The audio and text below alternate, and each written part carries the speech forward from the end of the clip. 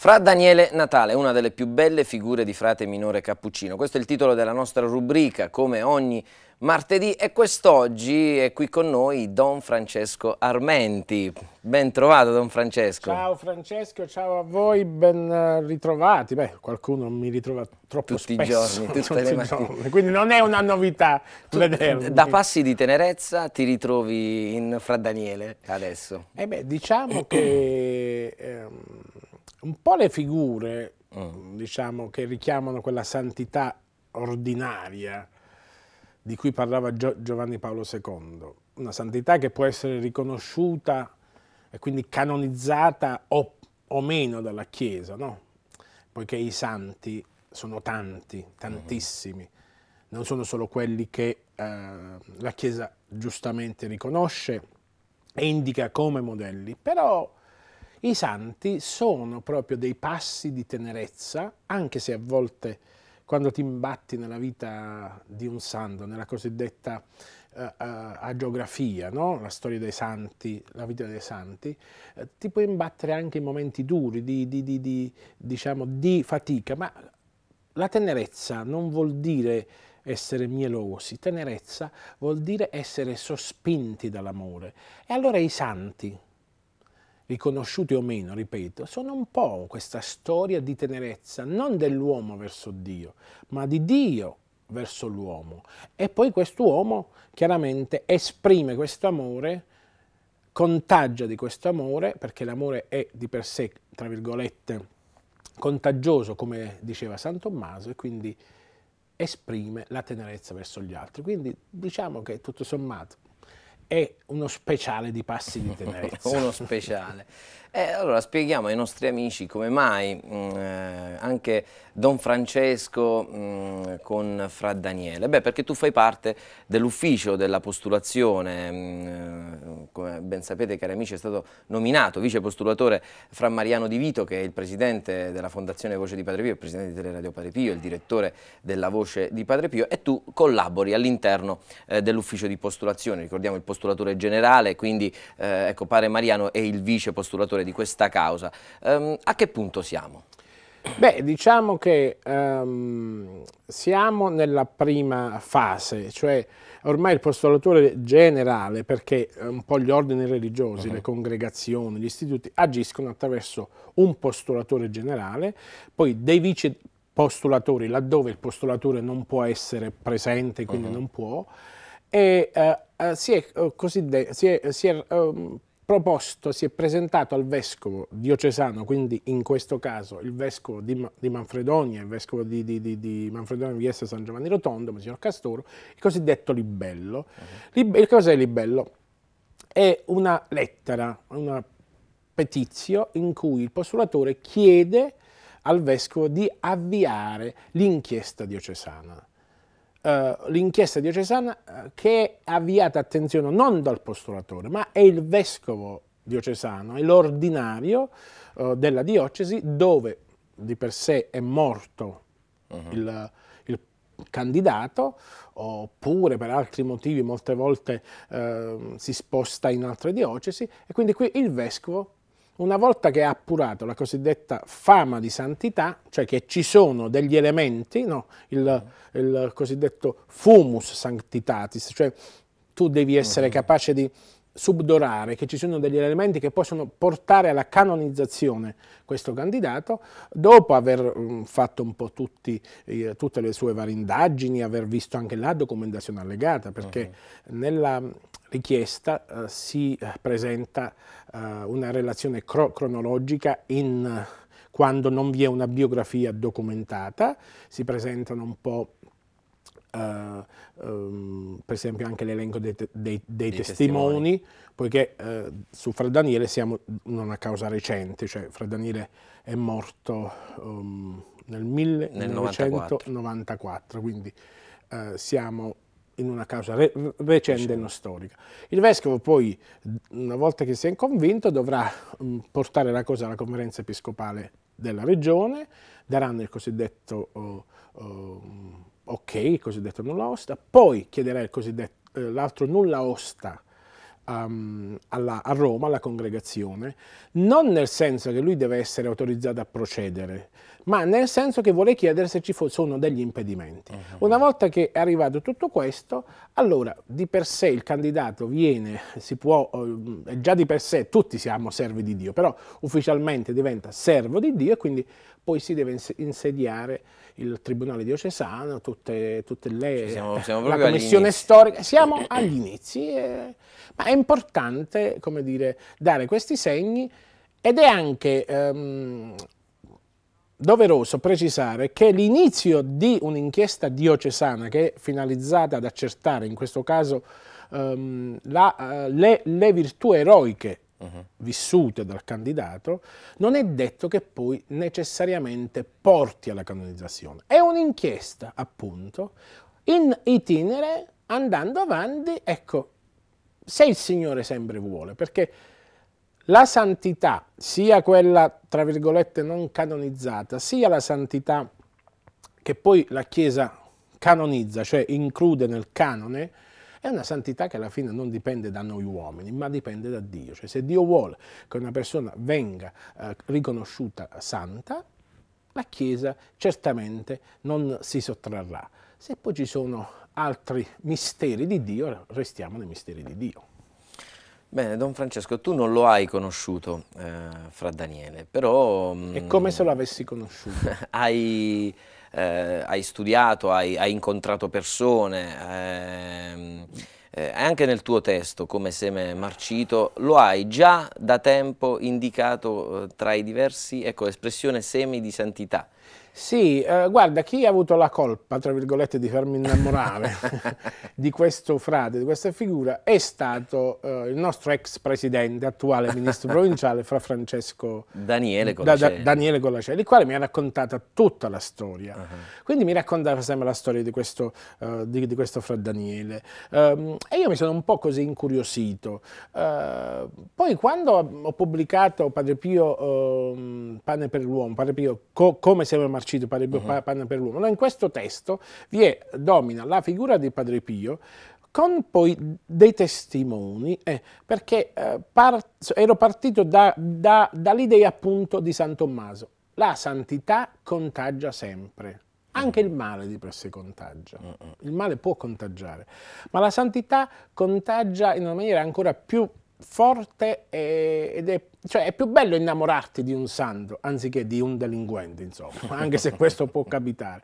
E io mi innamorai e, e capii che quella figura eh, di Fra Daniele non viveva, come giustamente ha detto il vicepostulatore, il nostro presidente Farmeriano De Vito, non viveva dell'ombra di Padre Pio o all'ombra di Padre Pio. Cioè Padre Pio non ha oscurato ma ha potenziato, e non solo in Fra Daniele ma anche in altri, per esempio me, me ne viene un'altra figura che già è in corso la, la fase romana della causa di canonizzazione che tu spesso te ne sei occupato, la serva di Dio Madre Maria Gargani. Gargani. Beh, queste figure come la Madre Maria Gargani, come eh, Fra Daniele Natale, ma tanti altri che mano a mano secondo me verranno e dovranno emergere, non hanno vissuto all'ombra di Padre Pio, ma hanno vissuto direi alla luce di Padre Pio. Cioè Padre Pio attraverso la sua santità non faceva altro che mettere in rilievo la luce e la santità delle altre persone, perché questo è il compito di un santo, non rimandare a se stesso, ma rimandare a Cristo e Cristo potenzia sempre eh, i semi di santità. E allora ho detto, ma questo è un seme di santità. E l'ho inserito tra eh, diciamo, questi semi di santità ordinaria, ripeto, non, non necessariamente devono essere santi riconosciuti, ma la santità ordinaria, di cui, ripeto, già parlava nel nuovo millennio neunte, no, terzo millennio adveniente, Giovanni Paolo II, beato Giovanni Paolo II.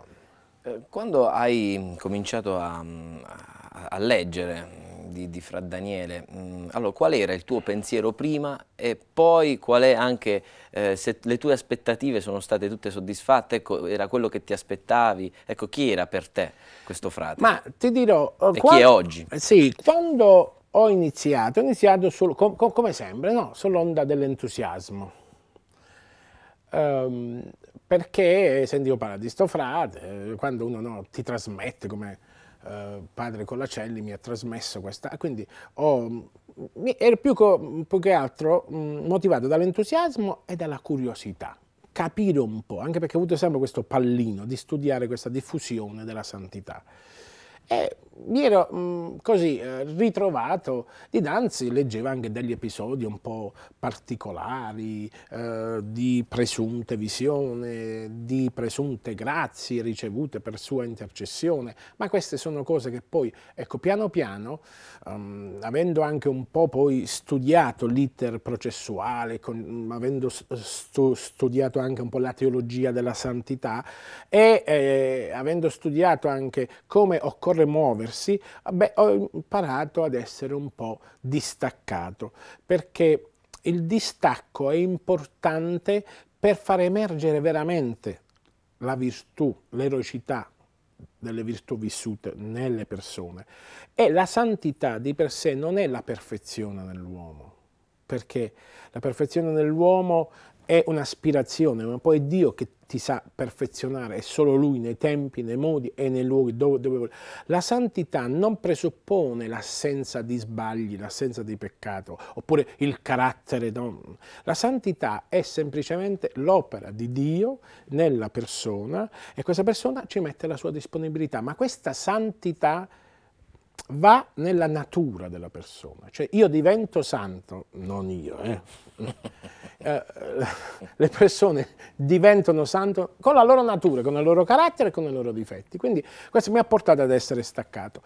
E questo distacco razionale, ecco, fammelo dire così, mi ha portato a riconoscere ancora in lui una, um, una uh, una testimonianza vera di che cosa? Di una semplicità che ti può far diventare santo, di una vita ordinaria che ti può far di diventare santo. No? Uh, e lui uh, ha vissuto come tanti frati. Piano piano poi è emerso perché? Perché eh, doveva rendere testimonianza ad un uomo che a sua volta era testimone dell'Altissimo, cioè ha dovuto rendere testimonianza, girava eh, della sua esperienza di santità, della sua esperienza di cammino di santità, di perfezione, guidata da Padre Pio da Pietrelcino. -huh. Lui ne parlava non perché solo lo, lo aveva conosciuto, lui ne parlava perché era stato guidato da lui, eh, perché Padre Pio lo ha svezzato nel cammino di santità e quindi ne parlava come testimone, non solo come soltanto colui che lo ha conosciuto. Molti dicono ho conosciuto Padre Pio, molti dicono, ma la conoscenza di un santo di Padre Pio, ma, ma anche la conoscenza mia e tua, è diversa da, da, da, una conoscenza semplicemente eh, fisica oppure di luogo perché abbiamo vissuto alcuni anni insieme. Io posso vivere anche insieme tanti anni a delle persone, ma non conoscerle. Fra Daniele no, non solo ha vissuto alcuni periodi con Padre Pio da, uh, da Pietrelcina, ma lo ha conosciuto proprio nel senso biblico, nel senso che eh, Padre Pio come suo direttore spirituale, come suo maestro, come sua guida, gli è entrato proprio nel cuore, gli ha modellato il cuore eh, secondo il cuore di Cristo. Ecco, questo è fondamentale, quindi una conoscenza vera, diretta, direi una conoscenza biblicamente intesa, perché anche, anche dalla scrittura, che cosa vuol dire conoscere Dio? Conoscere i suoi comandamenti? Conoscere la sua storia di salvezza?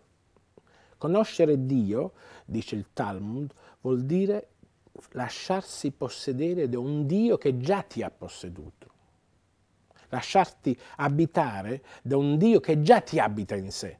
E poi i pari della Chiesa diranno, attenzione, noi non possiamo dire che noi abbiamo Dio nel cuore, ma è Dio che tiene nel nostro cuore. E io penso che la storia di ogni santo è anche la storia tra questo padre e questo figlio, tra, questo, uh, tra mm, questi due confratelli, è stata proprio questa conoscenza mirata non a una conoscenza umana, ma alla conoscenza divina. Ecco, qui poi l'opera dello Spirito Santo, le operazioni dello Spirito Santo, come le chiamava Padre Pio, quando faceva direzione spirituale, è proprio questo, perché lui mirava non a far ehm, diciamo, in, in, Fra Daniele, non, non mirava, non mirava a, Fra Daniele a, far, a, a, far sì che da, Fra Daniele fosse un discepolo di Padre Pio, no, no, Padre Pio mirava a, che il cuore di Fra Daniele eh, conoscesse sempre di più Dio.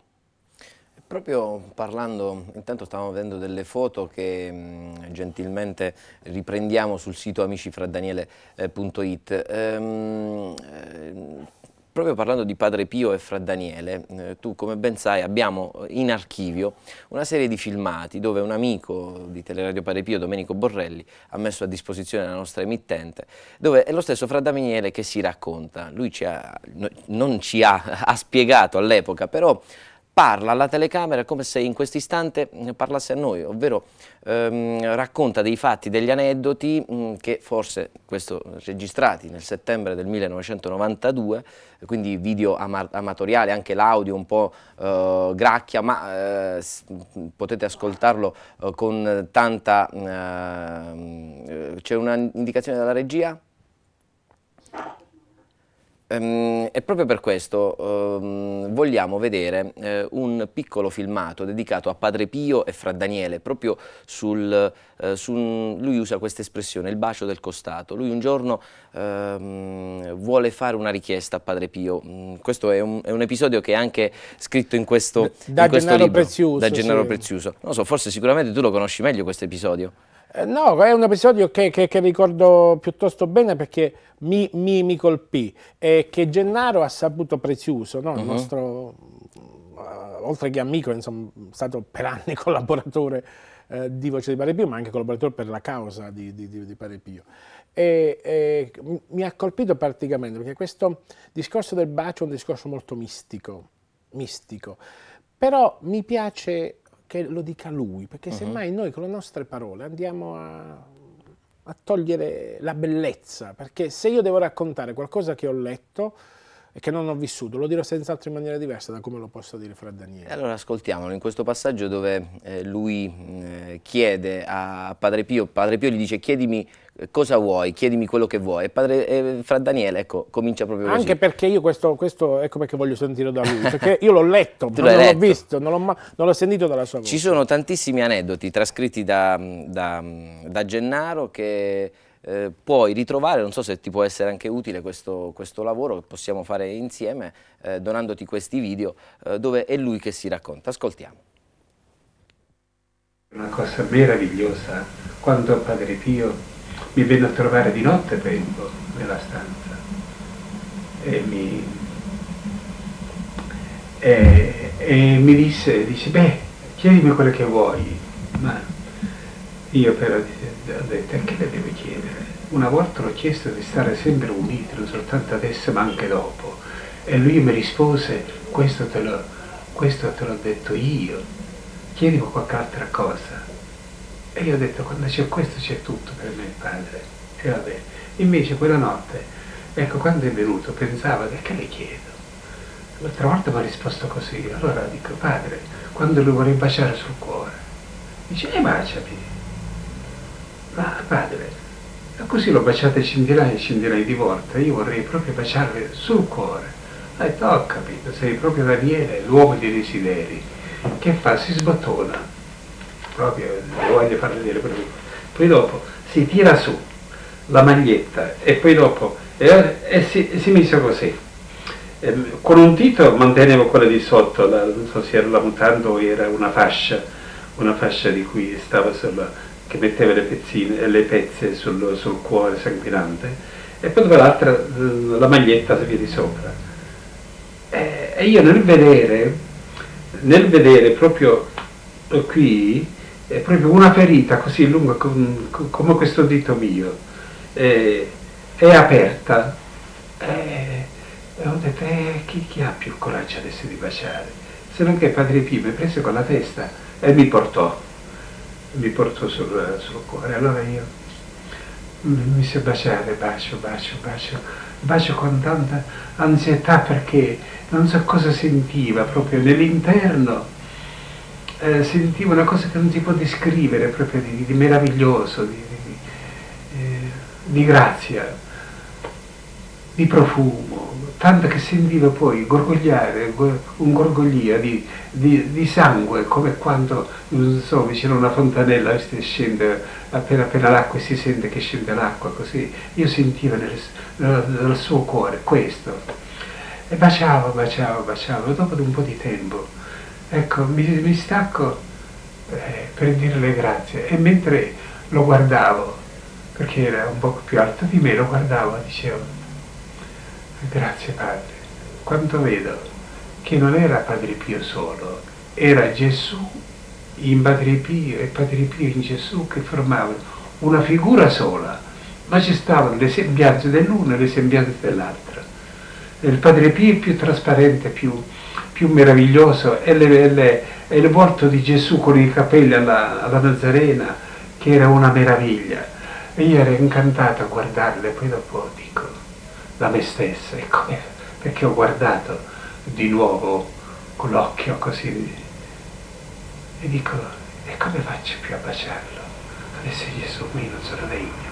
Invece di nuovo preso con la testa, mi portò là, e là, sul cuore, io bacio, bacio, ma questa volta baciavo e baciavo con tanto ardore, con tanto amore, nel pensare che era, che era il costato di Gesù il costato del nostro amato Padre Pio aperto di cui emanava tutto questo, questo profumo e questa grazia che, che stava in lui e che era la presenza di Dio in lui, la presenza di Gesù, perché Padre Pio era tutto di Gesù e Gesù viveva in Padre Pio. Questo è di fede che anche per noi, soltanto che noi restiamo a quella a quell'altezza, a quella purificazione bella di, di poter ospitare veramente il Cristo Dio, il Cristo grazia, eh, come, come viveva in Padre Pio. La grandezza della grazia anche dei, quella dei santi. Dunque, poi dopo, dopo un po' di tempo, ecco, mi sono distaccato piano piano, perché? Perché mi sono distaccato? Piano piano, piano piano, si è raffreddata, si è raffreddata in me quella, quell'ansia e si è raffreddata anche che non sentivo più, non sentivo più quella presenza. Allora ecco, mi sono staccato e ho guardato non ho visto più Gesù in Padre Pio, ma Padre Pio che mi disse, beh, sei contenta adesso? Dico Padre, solo quel Gesù che vive in te può ricompensarmi di questa grande e meravigliosa grazia che, che mi avete concesso questa notte, perché era di notte. Era di notte, di notto tempo, ed erano, mi ricordo, anche, anche l'orario, perché avevo visto l'orologio, erano le 3 meno 10 del mattino. Ebbene. Beh, non ti posso negare l'emozione, uh mhm. -huh. perché um, mi colpiva la prima cosa è questa, quell'immagine, diceva all'inizio, eh, dalla lettura che feci dell'episodio, eh, avevo individuato subito che si trattava di un'esperienza cosiddetta mistica, mm. no? eh, ma di, di, una mistica che rimanda al concetto della vocazione di ogni uomo che, e di ogni cristiano che, che è la santità. Bello quando dice Mm, che lui dopo aver baciato questo, questa ferita, questa piaga del costato, vede Gesù in Padre Pio e Padre Pio in Gesù. E questa è la santità. Eh, il Signore che ti abita, che tu lo lasci abitare, ma già ti possiede in sé, e tu che rimandi a Lui. Questo è il santo. Il santo non è colui che, che rinvia a, a, se stesso, come ha detto, ma che rimanda sempre a lui. Ed è bello anche poi questo bacio, no? perché il bacio eh, ha un, qualcosa di, eh, in comune con, con, con l'adorazione. No? Adorare viene dal greco, che vuol dire quasi baciare, quindi eh, Padre Pio perché gli ha concesso questo? Proprio in quel cammino di santità ha consentito, secondo me, a Fra Daniele di... Eh, perché gli uomini vanno incoraggiati nel cammino di santità, non solo di incoraggiarlo, ma gli ha fatto vivere questa, questa esperienza non per sua perché se ciò è avvenuto perché è il Signore che l'ha voluto, gli ha fatto vivere proprio questa eh, esperienza, direi, della intimità con il Signore, con Cristo.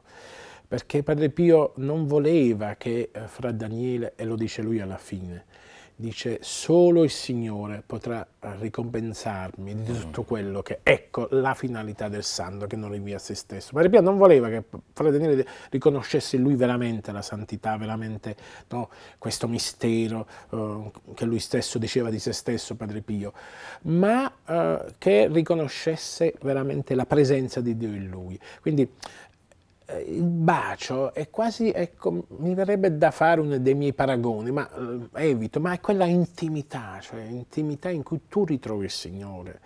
E, e l'altro aspetto, questo parla sto frate che non ha studiato mai un rigo di teologia. Mm. Beh, si è fermato alle scuole elementari? Sì, eh, si è, guarda, ha, ha detto molto più di noi che abbiamo studiato te teologia, semmai di altri teologi eh, me, me ne, mi, mi, perdonino, ma ha dato un concetto della, della intimità di Dio, un concetto della, de, de, de, della santità che semmai eh, i teologi hanno scritto in milioni di pagine, lui, lui l'ha detto in 30 secondi, perché ha vissuto. E perché, padre, mi ha rivelato queste cose perché io le potessi ri rivelare ai semplici, ai piccoli, come dice Gesù nel Vangelo. E essere semplice, essere piccolo non vuol dire non studiare, ma vuol dire anche studiare. Tanti santi sono grandi. Newman, per esempio, Beato Newman, mm -hmm. no? è, eh beh, un grande teologo, filosofo di, di, quel livello, Beato Duns Scoto, no? Mm. ma altri sono uomini di studio, ma si sono fatti piccoli, si sono fatti umili. Questo è il segreto che dovremmo un po' riscoprire noi e che ci viene anche da questa esperienza. E poi è stato meglio che l'ha detto lui che io.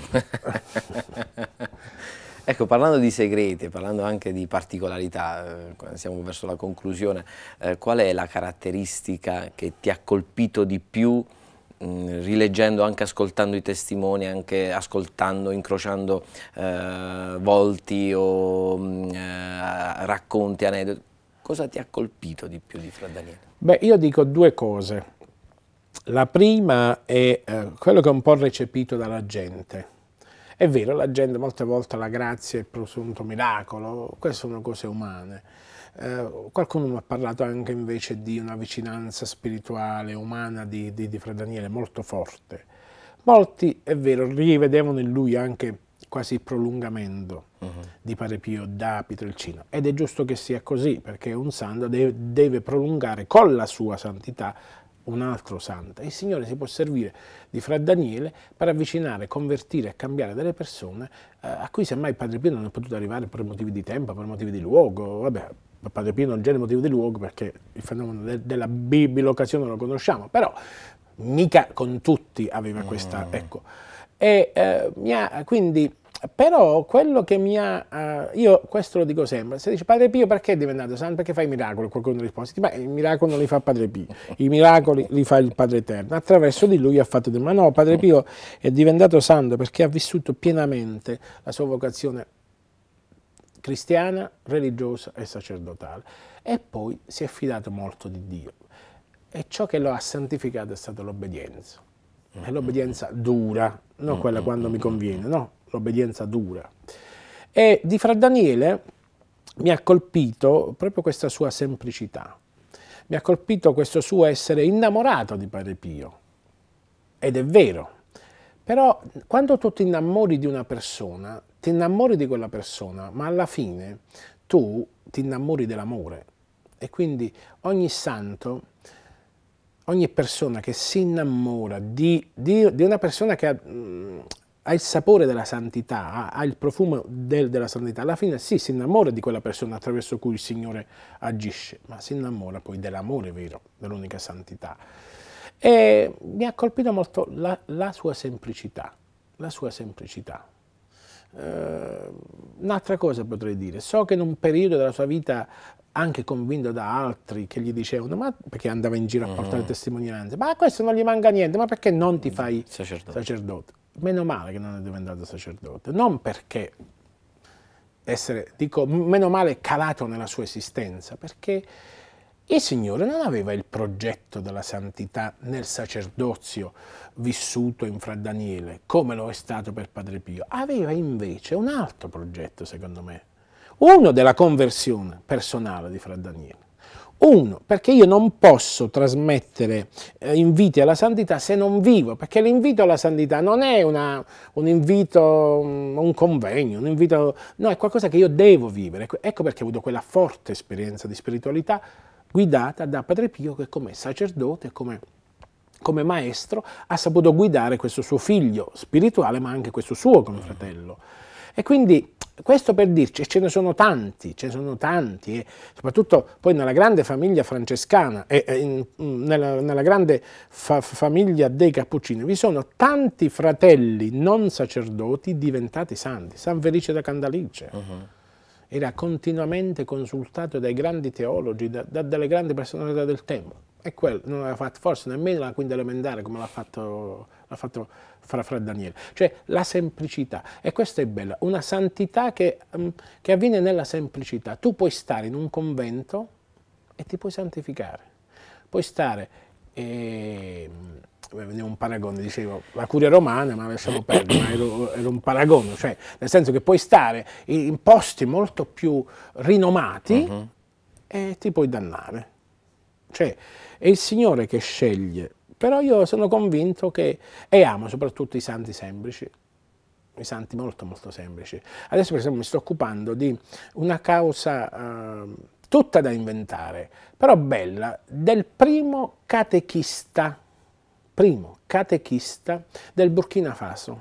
Ah. Alfred Simon Ghiserbo, eh, su voce di Pare Pio, eh, di, di, novembre c'è un articolo, come qualche mese fa c'è stato anche un articolo su, su Fra Daniele, perché mi sto occupando un po' di queste di figure. Beh, un uomo mm, con una vita piuttosto difficile, era schiavo, mm. Non era cristiano, è diventato cristiano perché ha, liberato, ha incontrato i padri i cosiddetti pa padri bianchi e poi dopo che è diventato cristiano girava i villaggi a con l'aiuto dei, dei, missionari, ha uh, fatto crescere la Chiesa in Burkina Faso. Ma un uomo semplice, ha avuto diversi figli, ho conosciuto anche uh, alcuni, alcuni, nipoti quando sono stato in Burkina Faso, e ha avuto due matrimoni perché la prima moglie poi morì e lui poi si è risposato. Ma così una vita semplice, lì nell'Africa semplice, così, così per Fra Daniele. La semplicità. E io credo, ecco perché ho detto, meno male che non è diventato sacerdote, non perché è diventato sacerdote forse, ma perché il Signore gli ha tracciato quella strada, quel cammino di santità. Se era sacerdote doveva fare altro, doveva pensare ad mm. altro, doveva avere... Ma poi i progetti di Dio sono i progetti di Dio. Io posso dire a uno, fatti sacerdote, ma se quello sacerdote mh, mm, mh, mm, il Signore non ha chiamato ma l'ha chiamata alla vita fraterna, alla vita da frate, basta. Infatti tra l'altro nel, nel, nel, libro Gennaro lo spiega, mm, non era una, un suo desiderio, ma furono in tanti che gli dicevano. Eh sì, perché, perché tutto ormai... sommato la teologia ce l'aveva, eh? mm, mm, ma non perché l'aveva studiata, era la teologia che nasceva secondo me dalla sapienza del cuore e dalla, dalla sapienza di un cuore che eh, lasciava sì spazio a Dio. Ecco perché. Quindi aveva questa, questa, questa diciamo, uh, sapienza che il Signore gli aveva dato, aveva l'esperienza con un santo, padre Pietro Perercini, aveva comunque il suo cammino di formazione e si sta santificando, si è santificato così. Bene, grazie Don Francesco. Grazie a te, posso farti un augurio? Dimmi tutto. E eh, tu mo parli di Fra Daniele, ma fatti santo. Eh. certo, certo, siamo tutti chiamati eh. alla santità. E tu mo gli dici, ma pure tu fatti santo. Comunque anche i nostri... Bene, bene, bene. Nostri... Noi, noi, ti ringraziamo, eh, dato che sei qui lo facciamo anche condividendo questa bella questa tua presenza qui, eh, soprattutto perché ti diciamo grazie per quello che fai quotidianamente con Teleradio Padre Pio, con il tuo programma, lo hai fatto ormai, da, ormai sono tantissimi anni, da, dall'inizio. Mi sto facendo vecchio. che collabori con Teleradio Padre Pio e poi anche con la rivista eh, Voce di Padre Pio, noi ti ringraziamo e sappiamo che tanti telespettatori ti vogliono bene. Eh ma mi vogliono troppo bene, tant'è che sono costretto, quando molte volte viaggio o sono fuori per strada, strada, dicono ma tu sei Don Francesco Armati, dico no, no, non sono io, quello è mio fratello gemello. Qualcuno mi guarda e dice ah sì, qualcuno ci crede, qualche altro poi dice no, non sei tu. Un bambino sai che cosa ha detto? Che ha detto? Ha detto tu sei Don Francesco, stava con la mamma, dico no, non sono io, quello è mio fratello gemello. Mm, no, sai perché? Tu sei brutto in televisione e sei brutto pure qui, mi ha detto il bambino. Sei tu Don Francesco, che io sono messo a ridere. La, la, la voce della verità, eh, i, bambini. i bambini poi ti smontano, eh. io sono rimasto lì e la mamma, ma che hai detto? No, no, signore, ho detto la verità. Anzi, Beh. lo saluto, si chiama Michele ed è di Roma. Ok, salutiamo Michele, tutti i bambini che stanno guardando e che ci guardano, le famiglie, le famiglie eh, che guardano Teleradio Pare Pio con tanto affetto. Grazie ancora. Noi volevamo concludere proprio con un invito che fa fra Daniele Natale. Eh, si parlava di Rosario, si parlava di Madonna e si parlava della grande potenza che ha il Rosario come preghiera. Lui parla alla telecamera come se ci fosse dall'altro lato chissà quanta gente e lui mm, nel 92 non sapeva che quest'oggi, ehm, così come lo stiamo facendo in tanti altri momenti del, delle, delle, nostre settimane, ecco mandiamo in onda questi piccoli filmati dove lui fa dei veri e propri appelli. Ti frego un po' il mestiere. Sì, eh, sì, sì. Eh, proprio partendo da questo, molti testimoni contattati, ma anche gente che conosce, dice ma allora dobbiamo, cosa dobbiamo fare? Perché eh, fra Danilo arrivi subito ad essere santo. Dice, tutti i tempi di Dio lasciamoli a Dio, i tempi della Chiesa sono della Chiesa, è la Chiesa che deve definire il tutto. Noi possiamo fare solo una cosa, ho detto a loro. Io ho detto dite una Ave Maria ogni giorno. In questo caso invece Fra Daniele ci dice di recitare almeno un rosario al giorno. Quindi tutti gli amici di Fra Daniele e quelli mm. che se ne innamoreranno piano piano cerchiamo di recitare ogni giorno un rosario. Grazie Don Francesco. Eh, scusa se ti ho rubato. No, no, hai fatto benissimo. Vediamo.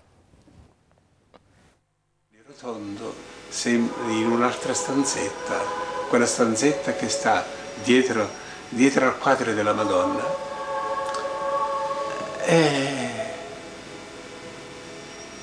sento, sento una voce prima mi sveglio con, con, una stanza tutta profumata, inebriata, proprio che inebriavano, inebriava anima e corpo.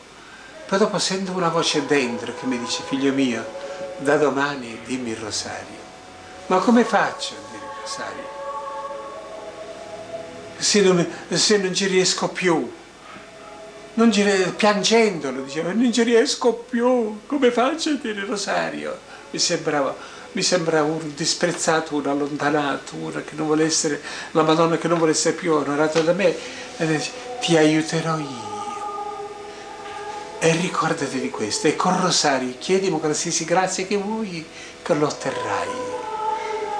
Ti aiuterò io, lo diremo insieme. Ecco, quella mattina vado, come entro e vado in cora per la Santa Messa, stava, eh, sono andato un po' prima, figuratevi, prima ancora che i padri cominciassero l'ufficio. Ecco che come entro in chiesa dal coro, nel coro, ecco vede quella, quel bel quadro della Madonna, quella Madonna con quegli occhi penetranti che mi guardava, che entravano nell'intimo. E io dicevo, ma guarda un po' quanto è bella, non l'ho mai vista così bella, è così vicina, la vedo più vicina e più bella poi ho sentito subito nell'intimo di dire il rosario. Io metto la mano nella pettorina, prendo il santo rosario, mi faccio, mi faccio la croce e comincio il rosario. Non avete idee perché non lo so descrivere che cosa erano quell'Ave Maria.